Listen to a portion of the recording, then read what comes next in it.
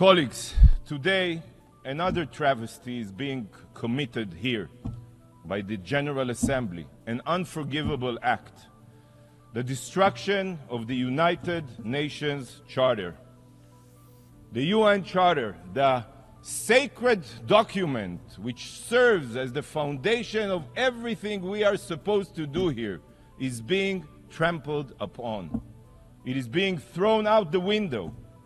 You, you are spitting on the very values that were formulated to bind this organization. With today's destruct destructive resolution, you are circumventing the Security Council, ignoring its decision, and violating the norms this organization has abided by. The Charter was drafted for a reason, but most of you care nothing for the qualifications it outlines.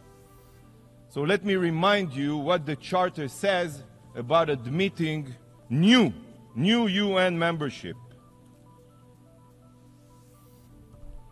Membership in the United Nations is open to all other peace loving states which accept the obligations contained in the present charter, peace loving.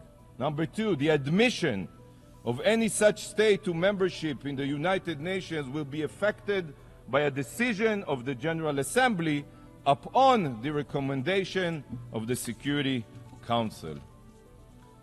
With today's vote, you are not only bypassing the Security Council in violation of the Charter, but you are bastardizing the meaning of peace loving. You know that the Palestinians are the exact opposite of peace loving. You know this. Since they rejected the UN partition plan in 1947, they rejected it. They have only tried to destroy Israel time and again. They are terror loving, not peace loving. They are anything but peace loving. The Palestinian Authority pays lifelong salaries to ter terrorists. It's in their budget. They teach martyrdom and jihad in their classrooms.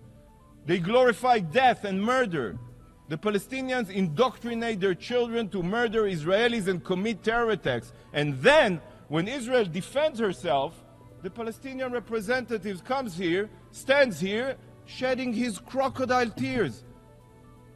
As if he did not send all of them to commit suicide or terror attacks. Not a single Palestinian leader, not even one, has condemned the October 7th massacre. He calls the Hamas his brothers.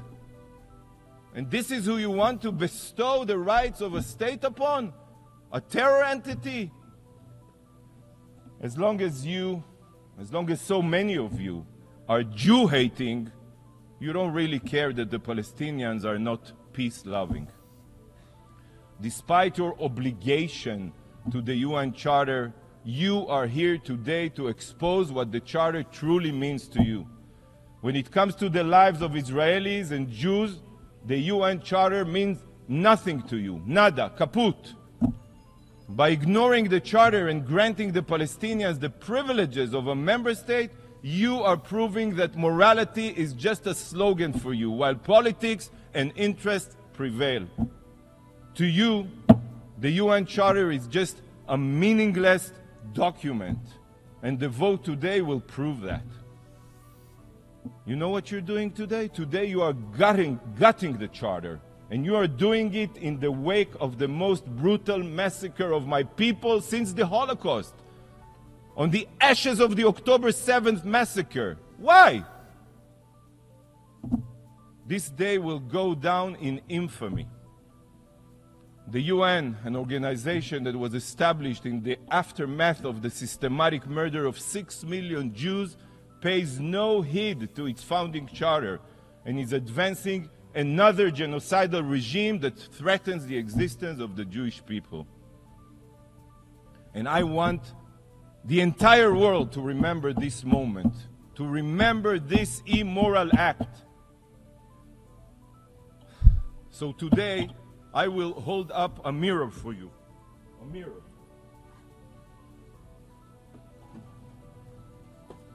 This is your mirror.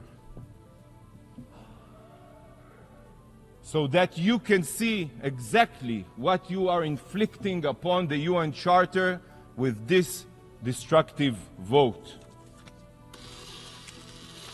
This is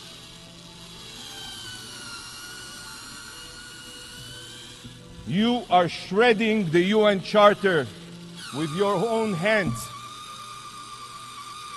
Yes, yes, that's what you're doing. Shredding the UN Charter. Shame on you.